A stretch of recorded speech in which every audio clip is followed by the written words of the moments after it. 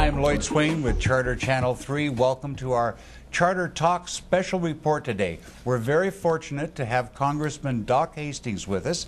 And Doc, it's good to see you in town and uh, visiting with us today.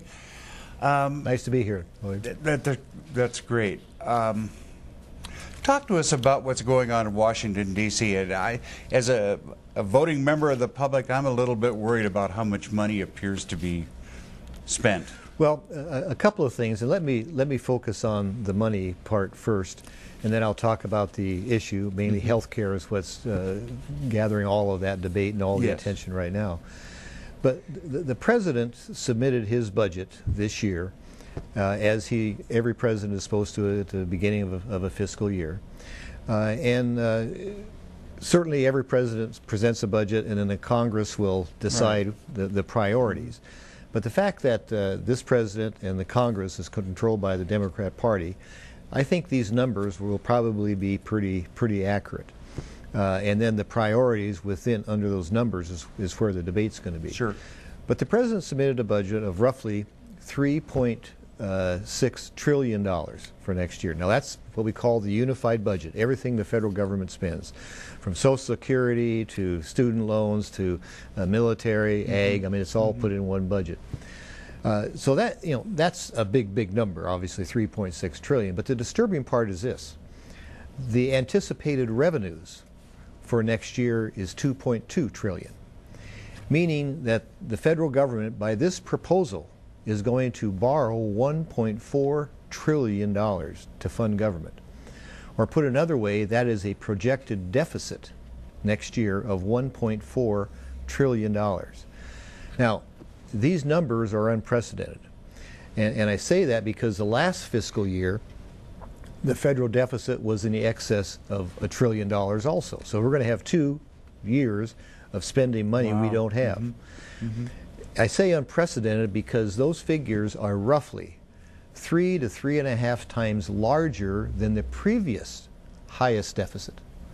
In other words, the previous, previous highest deficit that our country had ever run uh, was at the height of the Iraq War, and it was slightly over $400 billion, which is a lot of money. Don't, I'm not won't question that. That's right. But for goodness sakes, to, uh, but we were in a war. I mean, we were engaging on two fronts in Afghanistan. We are engaging in Iraq. We are building up our homeland security. I mean, all of those expenditures, mm -hmm. I mm-hmm. think, were mm-hmm. necessary. Mm -hmm. uh, but here we are now with the war in Iraq winding down. Uh, we're still engaged in a war in Afghanistan, but homeland security now is pretty stable. And yet here we are spending three times that amount from a deficit standpoint than we did at a time, you know, where, where it's very difficult. So that disturbs me, and, and, I, and frankly, we have heard a great deal from people exactly on this. So it's on top of all of this that this debate of health care comes in because the projected cost of the health care proposals, and keep in mind, there's two proposals that have passed uh, at least each respective house. Yes. The one in the House and the one in the Senate. In both cases, in both cases, the projected expenditures of this health care, health reform uh, is over a trillion dollars. So that's on top of what we are talking about with this proposed budget for the next year. Now, the trillion dollar expenditure is over a period of time, but nevertheless, the idea is more and more spending. So, you know, th this really concerns me and it concerns uh, a, a, lot of people. Mm. Uh, I mean, people talk about a trillion dollars and it's kind of hard to fathom, but to put things into perspective, if you had a trillion dollar uh, uh debt and you wanted to pay it off, and you wanted to pay it off at a million dollars a day, it would take over 3,000 years to pay it off. That's the scope of what we're talking about here.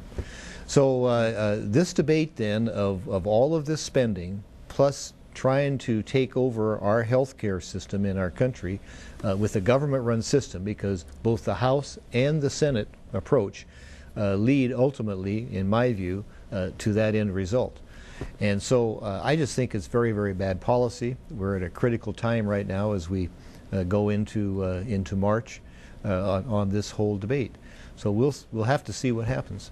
Is this a basic philosophical difference between Republicans and Democrats? This amount of government spending and then controlled, uh, particularly with health care? Oh, I I don't think there's any question about that. And Sure. there, there is a difference between the two parties. And let me just go back uh, last year, a little over a year ago, when our economy was really uh, struggling, still struggling now, but when it was struggling then. Uh, the solution of the Democrats was a was a government intervention of a stimulus bill, which spent uh, about four fifths of a trillion dollars to stimulate the economy. When that bill was passed, the unemployment rate was in the area of 7% nationwide. Uh, and the promise was if we pass the stimulus, this massive amount of government spending, the unemployment rate would not go above 8%.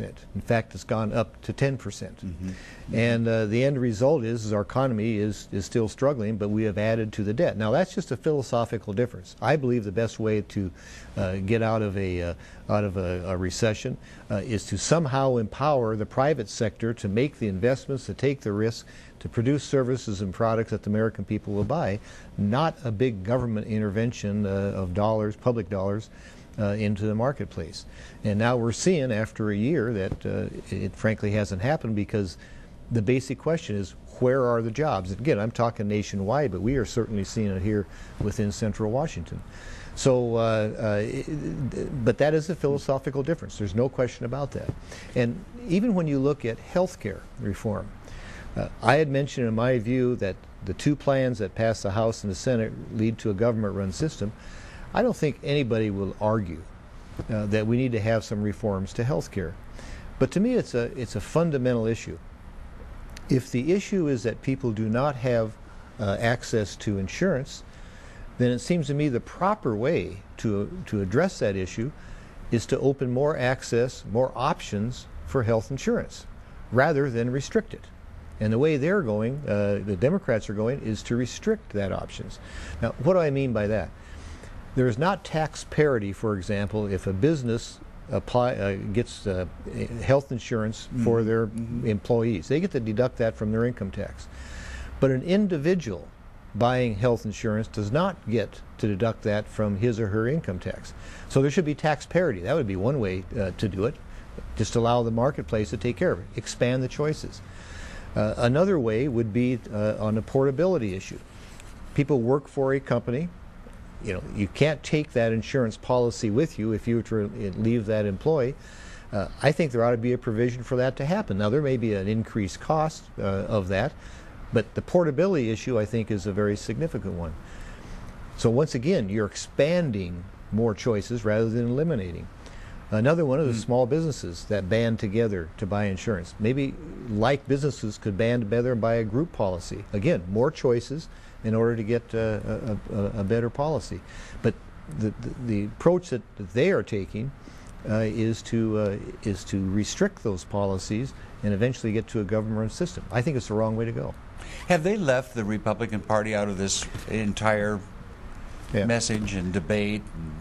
Yeah, th- there's no, no question. I mean, as, as long ago as last May, I know the leadership in the House sent a letter to President Obama saying, uh, we are willing to sit down and talk, and he has said a number of times, li- willing to have your ideas, but the first time that he listened to our ideas was at that healthcare summit.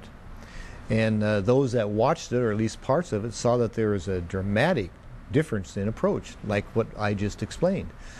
And so, as long as they are moving in a direction of having a government run system, Republicans simply aren't going to go along because that is contrary to what we believe the best way to deliver health care is. So, uh, but we have not been part of the system, and we were there that day. Uh, we offered a number of, uh, of positions, both members of the House and members of the Senate.